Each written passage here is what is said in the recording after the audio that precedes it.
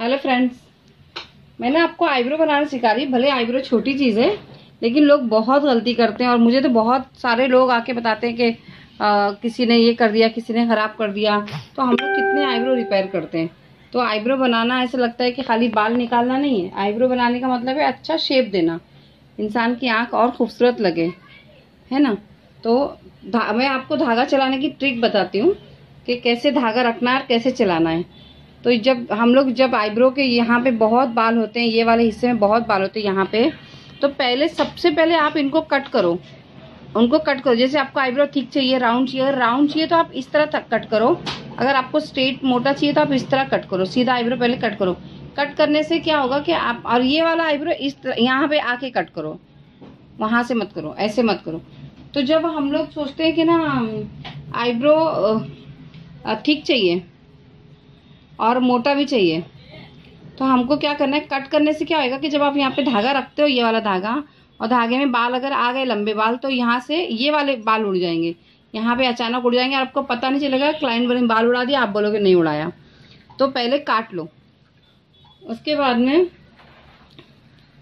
हम्म, उसके बाद में ये ये इस तरह से रखना है और दबा के निकालना है। अगर आपने ऐसे उठा के खींचा तो उसको दुखेगा। दर्द होगा। ऐसे खींचना है। ऐसे। और ये वाला पार्ट में ऐसे रखना है, इस तरह। और यहाँ ऐसे निकालना है। लेकिन धागा टच रहना चाहिए स्किन में। हम्म? पकड़ो जरा। हम्म। और पकड़ाने के लिए क्लाइंट को बराबर प्रॉपर बोलने का, चारों उंगली से पकड़ो और नीचे यहाँ पे, यहाँ पकड़ो। इस तरह से। और यहाँ पे मैं धागा कैसे रख रही वो देखो। यहाँ पे ऐसे नहीं रखना है, ये धागा इस तरह रखना है। इस तरह। इस तरह से। इस तरह रखना। और यहाँ पे आने के बाद में यहाँ एक पॉइंट बनाना है। जैसे राउंड चाहिए पॉइंट चाहिए, जो भी चाहिए। और यहाँ पे आने के बाद धागा ऐसा हो जाएगा। अभी तुम्हारा धागा यहाँ चल रहा था ऐसे। और जब यहाँ पे आए तो धागा इस तरह हो जाएगा।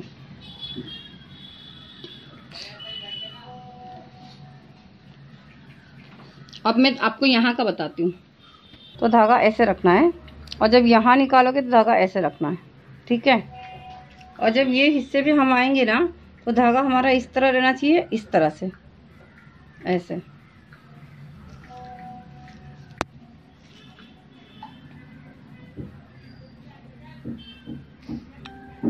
इस तरह से।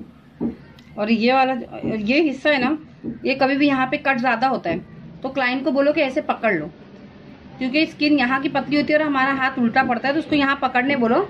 और उसके बाद में ये वाला हिस्सा है ना, यहाँ से इस तरह से रख के ऐसे खींचो। कभी भी कट नहीं आएगा, कभी भी नहीं आएगा। भले ये छोटी चीज़ बता रही हूँ, लेकिन काम की चीज़ है। है ना? और जब यहाँ पकड़ेंगे ना,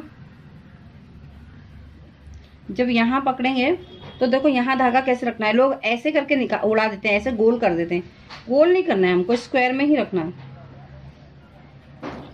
देखो, ऐसे यहाँ धागा इस तरह रखो और नाक पे भी ध्यान रखो कि टच नहीं हो। ऐसे करके, ऐसे निकालो, इस तरह से। डालना होता है। ठीक है? ऐसे। ऐसे करके ऐसे रखना है और ऐसे निकालना है। ऐसे।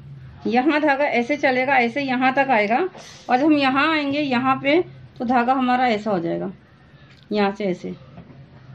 ठीक है? Okay thank you so much